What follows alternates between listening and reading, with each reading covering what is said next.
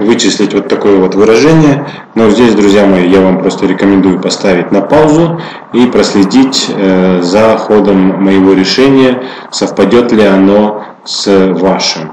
То есть у меня получился ответ 2. Надеюсь, что у вас получится точно так же.